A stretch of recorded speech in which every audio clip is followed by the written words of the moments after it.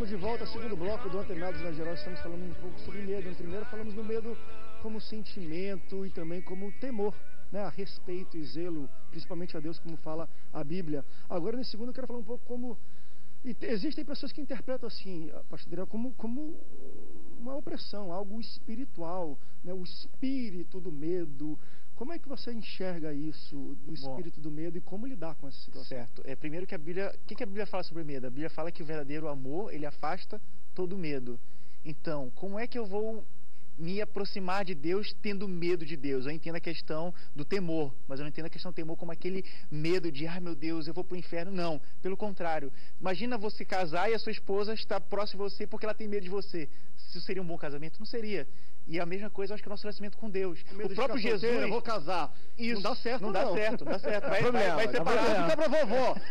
Vou, vou casar com o primeiro que tiver. Tem gente que faz isso. isso. Aí tem gente que encontra, mil, passa por milhões de, de religio, religio, é, religiões porque tem medo. Medo da morte, o que, que vai ser depois. Agora, o próprio Jesus, ele vai e começa a, a desvendar a Deus de uma outra forma, chamando ele de pai. Porque de pai, um pai eu tenho temor, eu não tenho medo.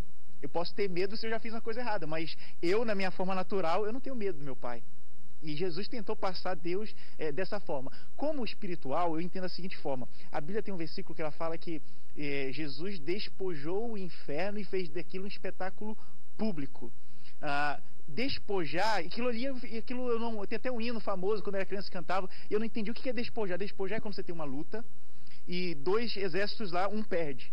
O que venceu, ele vai lá no que perdeu e toma todos os poderes e autoridades que ele tinha. Então, quando Jesus morreu na cruz, ele tirou do diabo tudo que ele tinha, inclusive doenças que o diabo poderia colocar, medo que ele poderia colocar. Agora, uma coisa ele não tirou, que foi aquilo, a única coisa que o diabo tinha, que era dele, que é o quê? A mentira.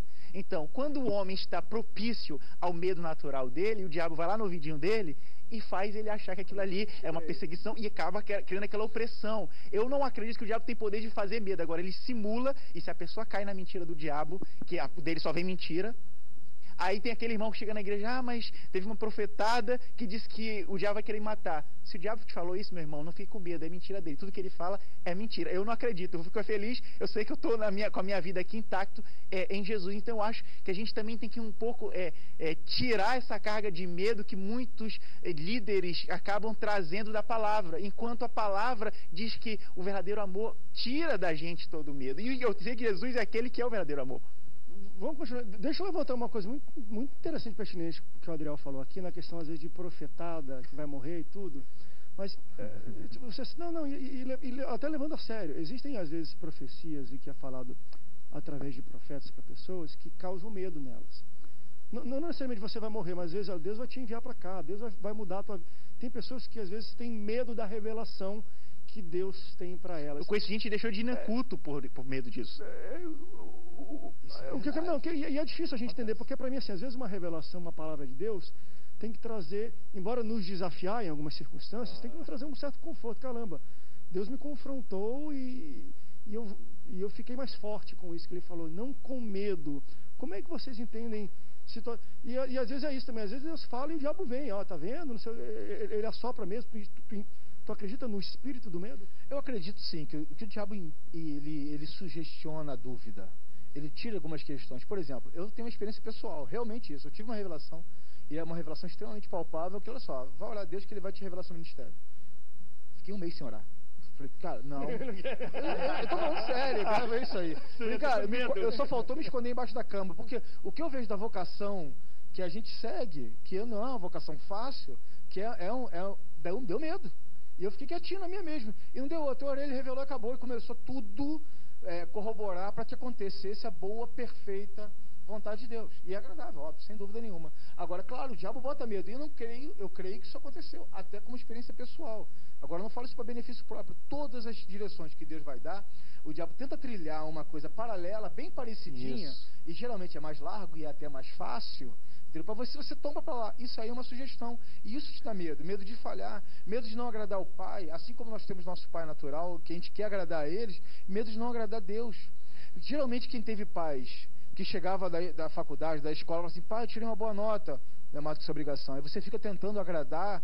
Tem no seu relacionamento com Deus certa dificuldade de se aceitar. Por quê? Porque pensa que não é capaz de agradar o Senhor. Então, esses são medos que o diabo vai intentando e gera uma patologia, também gera você um nunca problema vai de chegar ao patamar que Deus quer que você chegue. Você tem o medo de, poxa, eu sou imprestável.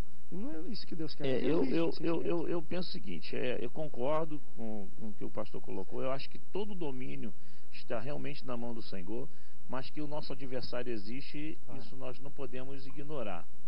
E, e, e, você percebe que realmente é uma possessão, em, em muitas áreas você percebe que as pessoas falem, estão falindo espiritualmente por em ordem dessa presença é, é, diabólica. Né? E ele veio para matar, roubar e destruir. Nós não podemos esquecer isso.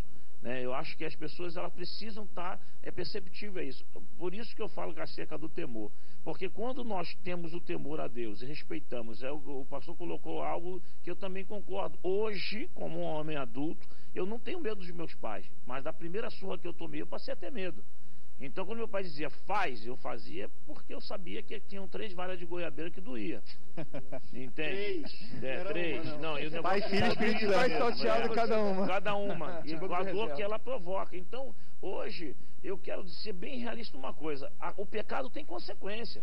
Sem dúvida, claro, Nós não podemos esquecer isso. E o inferno inteiro sabe disso. Isso tem que ser pregado. Não pode, ah, meu Deus, paz e amor, tudo é, bem, mas calma aí. É, tem consequência. Tem pecado, consequência. Vai... Exatamente. Então, esse, esse o, o, a falta do temor, ele, vai, ele, ele tem que gerar realmente o medo de que você está desprotegido.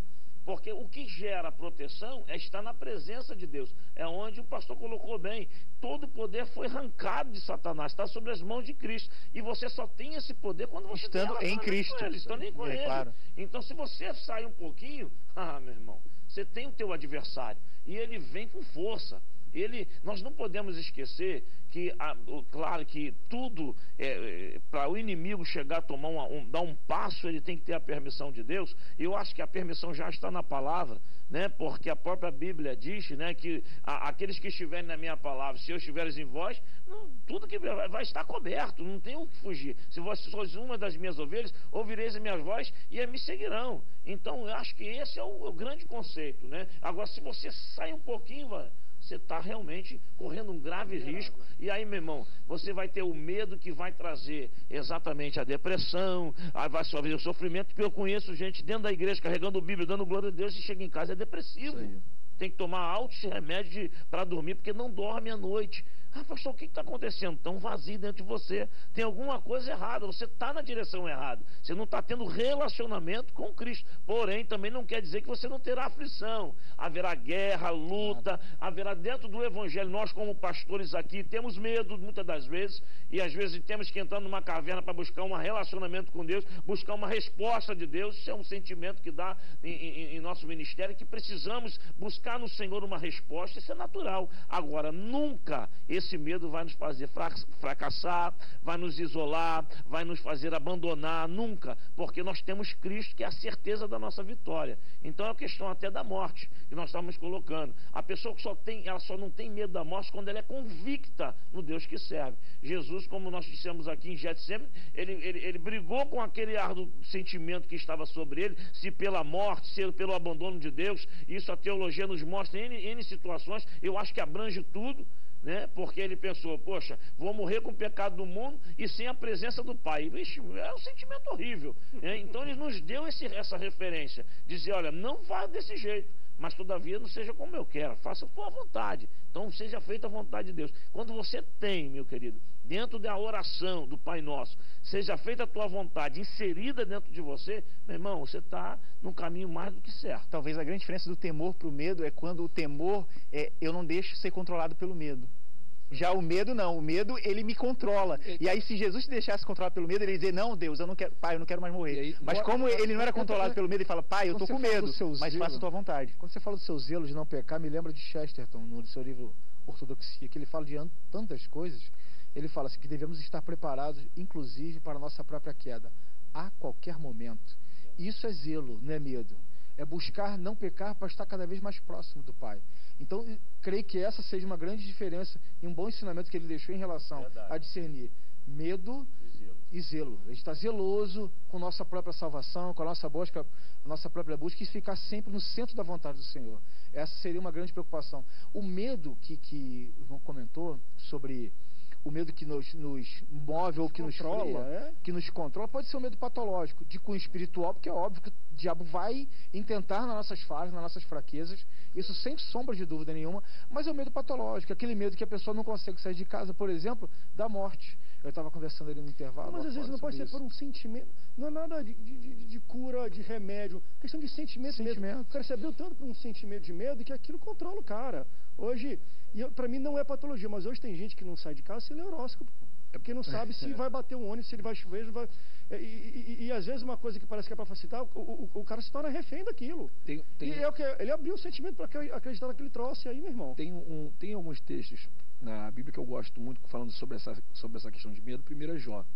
Que Jó fala que o mal que ele mais temia, quer dizer, que era o que ele mais tinha medo, foi o que sobreveio sobre ele. Então entra nessa questão de espírito maligno. Quer dizer, foi o próprio diabo que foi lá, pediu a permissão, Deus permitiu, então quer dizer, porque o Satanás já sabia onde é que era o medo de Jó. Ele não leu nossa mente, ele não sabe o que, que há dentro de nós, mas ele é um mestre em psicologia. Então, quando a Bíblia fala que ele anda como um leão, andando ao nosso redor, rugindo como um leão, buscando quem possa tragar, é porque o leão ele é mestre em psicologia. O leão, ele não ataca quando ele está com fome. Ele senta de longe e fica olhando para ver quem é que está mais doente. e ver quem está vulnerável. Quem está mais vulnerável. Está mais vulnerável, ele vai e ataca. Outra questão é quando fala que os discípulos estavam no barco atravessando o mar da Galileia e que se levantou uma tempestade. No texto original, no grego, a Bíblia vai falar que quando Jesus fala mar, cala-te, aquietos, na verdade ali ele está repreendendo o demônio que estava no meio da tempestade. Então, tipo assim, existem situações que é natural da nossa vida que é algo que pode nos causar medo. Quer dizer, os discípulos estavam acostumados a pegar uma tempestade. Só que a tempestade daquela ali era pescadores. Só que a tempestade daquela ali saiu do natural. E quando saiu do natural, eles se desesperaram. O que, que fizeram? Corre para Jesus. Nós vamos morrer. Só quer que a gente morra?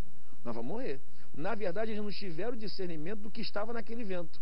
O medo se apossou deles, o desespero se apossou deles. E aí eu acho, Nina, que Jesus ele não fala com eles desesperado. Primeiro Jesus ele sobe, acalma tudo e depois vira para eles e fala: Meu filho, eu dei um intensivão para vocês durante o dia inteiro. Botei vocês aqui na aula prática agora. E por que vocês estão tudo tímido? Quer dizer, por que vocês não agiram? Por que do medo? O medo causa cegueira espiritual. Isso não, aí. não nos deixa enxergar Boa, a Deus o que Ele pode fazer pela gente. Meu Pai, foi ministrado agora e você também. Vamos para rápido break. Daqui a pouco a gente volta porque eu vou perguntar o seguinte. Tem uma pergunta aqui de uma pessoa que só bota as iniciais, WE. Resumindo tudo, ele falou o seguinte: ah, tenho medo de morrer. Estou pecando? É errado? Sou cristão e tenho medo de morrer. Vamos para rápido break, daqui a pouco a gente volta. Não sai daí, o Antenados volta já já. Eu quero